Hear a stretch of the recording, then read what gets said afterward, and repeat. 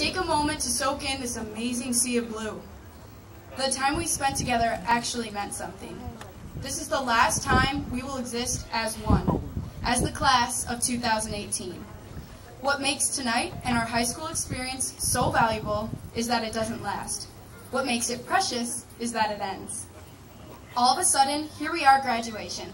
Everything is changing at a rapid rate. Even though we have anticipated and wished for this day for years, change and endings are always difficult. My charge to you is to go embrace the change. If you don't like something, change it. Go places, ask the big questions, be present, and be purposeful. Remember where you came from. Thank the people who stuck it out with you, but also thank those who let you go. Appreciate your family and the sacrifices they made. Talk with people who make you see things differently, make peace with your past, forgive quickly, be kinder than necessary. Show up, do more, and worry less. Something will grow from all this change, and it will be us.